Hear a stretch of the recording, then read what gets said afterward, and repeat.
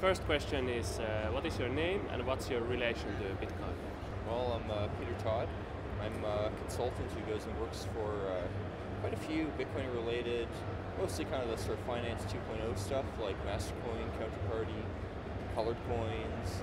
I'm also working for uh, Zero Cash now, the anonymous um, Bitcoin extension, and uh, also CoinKite, which is a sort of secure Bitcoin storage service. Yeah, all right. Uh, you've also been doing like uh, Bitcoin, uh, Bitcoin core development, right? Yeah, yeah, a bit, a bit of that. I mean, I'd say most of my focus is on better understanding the theory behind how does Bitcoin actually work.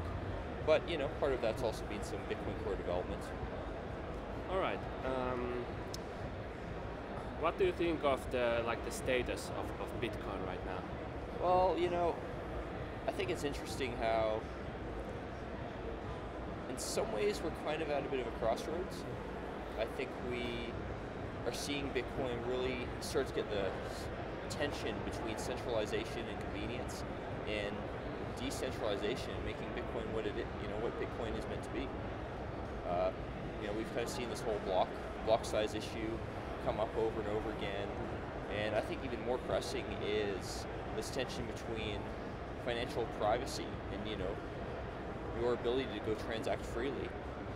And then people would much rather go see regulation and blacklisting and so on. And you know hearing circle come out is you know talking all about how mainstream mainstreaming bitcoin is important is going to be a very interesting question seeing like do people want to try to mold bitcoin into something that's more regulatory friendly or are they going to stay the course?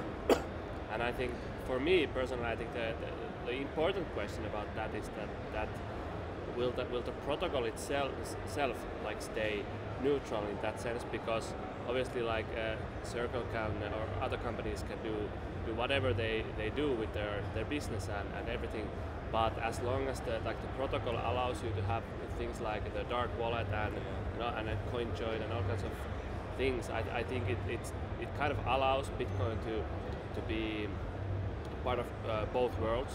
But if, if, if the protocol gets compromised, then, then it's obviously a, a much bigger issue. So, what's well, your opinion on that? You know, I think it's important to note, or really to ask, what do you mean by you say protocol?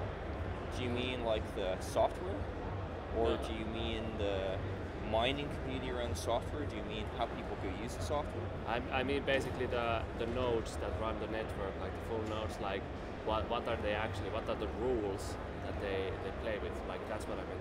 Well, so I mean this is issue. The protocol and saying protocol in terms of the software and the bytes on the line, I don't see that as changing. What I do see is likely to change, I mean assuming people allow it to, is for instance, currently we assume bitcoins are fungible. One bitcoin is worth as much as any other. People are trying very hard to introduce the idea of blacklists, where even though Ethereum may be able to go send a Bitcoin to you, it's not going to be valuable to you because you won't be able to go spend it at an exchange and turn it back into fiat. Because my coin may have come from some source that some government has declared to be blacklisted. You know, under what basis? Maybe it will be a legal thing, maybe it will be, you know, it's kind of hard to say how that would work. But you can certainly say it would add a whole lot of overhead to Bitcoin. I don't I don't personally think that that's ever gonna like work because like the, the even even like a lot of people in the community seem to understand that that breaking the fungibility of, of bitcoins is a really bad thing. Like uh, I think they can try some some people can try to put that kind of stuff up, but I think that they, that they will have a lot of opposition because a lot of well, yeah. you know, if I were to go ask, so would blacklist work? I think what we'd actually see is the turn into whitelists in reality. The blacklist, so to speak, would include any coins whose source is not known or may have been mixed or may have been anonymized. And whether or not that works is really community acceptance, like you say. And I kind of wonder, I think it's quite easy to be in a position where the community accepts something not realizing where it goes. And you know, Adam Back made a great point about how the only reason Bitcoin has low transaction costs is because of the fungibility. Because you do not need to investigate the history of your counterparty because you know that when you get a coin, it'll be worth something. It's not going to be blacklisted later, and you won't find out after the fact that now it's worthless. You know, and the only way you can do that is by having transactional freedom. Yeah, I think that uh, I agree, and I think that uh, if the, those kind of uh, lists like kind of start to really appear and get used and, and so on, I think that, that that's the kind of fundamental change that would actually like split the whole Bitcoin uh, to, to different either either Bitcoin itself would split to different networks, which is obviously a bad idea in many ways. Like uh, if you like have different rules of different groups, because then you have bitcoins uh, like you have bitcoins there, you have bitcoins here.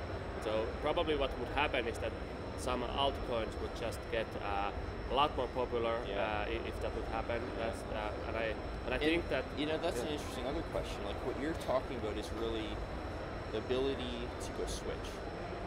And right now, as an example, suppose ghash.io was told by their local government, you know what, we've got this blacklist of coins, you will now no longer mine blocks that contain transactions between those coins.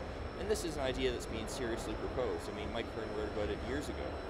And if that happens currently, realistic miners are probably going to say, well, you're trying to go screw over the network, and that hashing power will leave that pool and move elsewhere. And if the next pool does the same thing, it will leave and move elsewhere. You know, we have this option to leave. We have these options to switch. Unfortunately, because of the way the Bitcoin protocol works, it does not scale. So if we want to have 1,000 transactions per second, now your ability to run a full node and be that pool that people can switch to isn't necessarily there. I may not be able to run a pool and be anonymous at the same time. And if I'm not anonymous, I'm going to be next on the list for the government to go shut down, or a government, depending on where I live. And that's when something like blacklists really have effectively changed the protocol. You know, that's when Circle, for instance, deciding that all right, we're going to accept the government blacklist and we're going to take part in it actually starts to matter because the next level is restricting miners. yeah You know, and currently, as I say, we're at a crossroads. We're not at the point where you know Bitcoin is still free enough that it would be very hard to implement. But if you go down paths where you say achieve scalability by just increasing block size, you know that's one of the worries. And that'll be very interesting seeing how people react to that. Yeah, it is. It is true. Um, so, uh, what do you, what do you think will happen? What's like your speculation on how how things will go? Maybe one year, two years forward. yeah, I mean, I mean, I've got you know proposals I've worked on like tree chains, and other people proposals like side chains and so on. There's different trade-offs.